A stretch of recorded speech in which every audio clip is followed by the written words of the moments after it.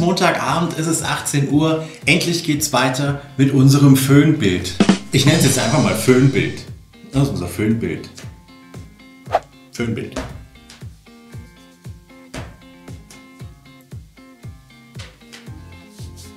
Würde ich sagen, legen wir los.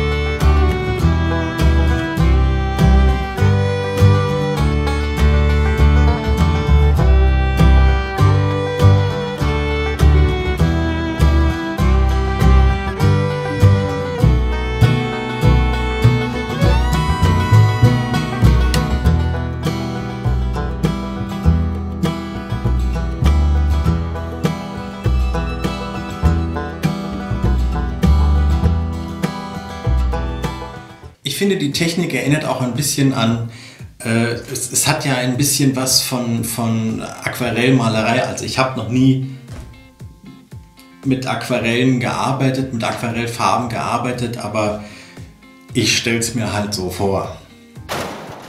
Bei der Aquarellmalerei oder kurz beim Aquarell gibt es verschiedene Grundtechniken. Zum einen das Lasieren. Dabei wird die stark mit Wasser verdünnte Farbe auf den trockenen Malgrund aufgetragen. Die Farbe trocknet durch den dünnen Auftrag sehr schnell und lässt sich nach dem Trocknen mit weiteren Farbschichten übermalen. Wird immer der gleiche Farbton verwendet, entstehen so dunklere und hellere Bereiche. Zum anderen gibt es das Lavieren mit der Verlauf und Nass und Nasstechnik. Bei der Verlauftechnik wird eine Farbe so auf den Malgrund aufgetragen, dass sie gleichmäßig immer blasser wird oder langsam in einen anderen Farbton übergeht. Bei der Nass-in-Nass-Technik wird auf dem feuchten Malgrund oder in eine noch feuchte Farbe hineingemalt, wodurch die Farben ver bzw. ineinander laufen. Diese Technik gibt es nicht nur beim Aquarell, sondern auch bei anderen Maltechniken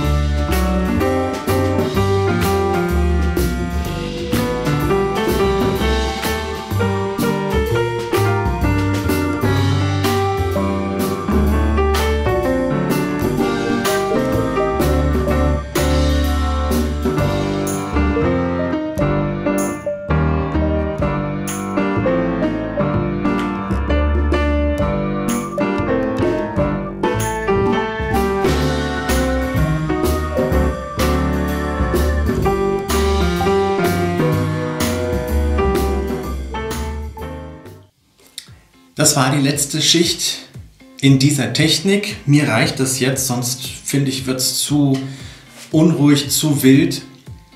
Und ich würde jetzt noch ein paar Details hinzufügen, ein paar einen Blickfang wieder mal und dann die letzten Feinarbeiten beginnen.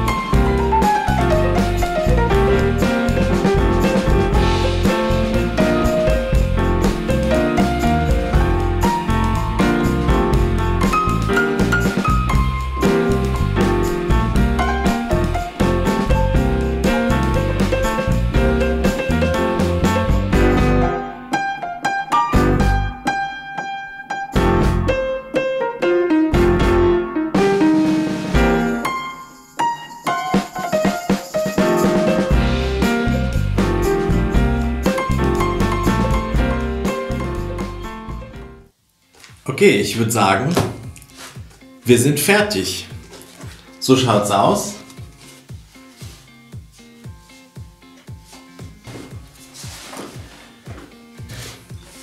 Gut, ich denke mal, der ein oder andere von euch wird jetzt sagen, mir gefällt das so rum besser, vielleicht. Moment.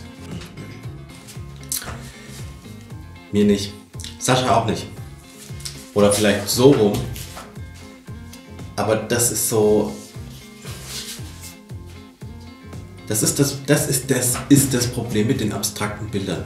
Ja, dass wir hier schon montags abends Bilder gedreht haben, bis wir gesagt haben, ach ja, doch, ist ja doch ein schön.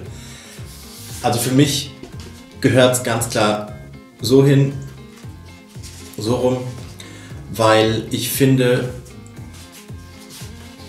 hier ist ja eine große dunkle Fläche. Für mich hat die optisch ein gewisses Gewicht. Also dunkle Stellen wirken ja schwerer als helle Stellen. Und so bekommt das Bild wesentlich mehr, mehr Spannung, wenn der größere, dunklere Teil oben ist und der hellere, leichtere Teil unten ist. Dann haben wir ja hier noch diese, diese geometrischen Figuren. Ich finde, die wirken ein bisschen ausgleichend zu dem eher turbulenten und chaotischen Hintergrund und bringen ein bisschen Ruhe rein. Das ist immer, immer wichtig, so einen, so einen Ausgleich zu haben. Ja? Also für mich eindeutig so. So würde ich es aufhängen. Es sind viele Details äh, geworden, entstanden. Da zeige ich euch gleich mal einen Rundflug übers Bild.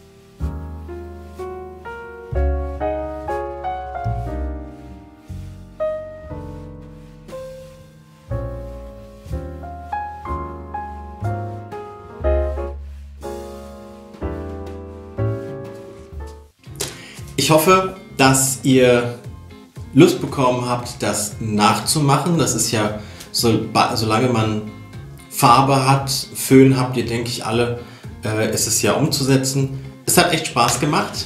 Es war warm, aber hat Spaß gemacht. Jetzt wünsche ich euch noch eine schöne Woche. Bleibt gesund und bis bald.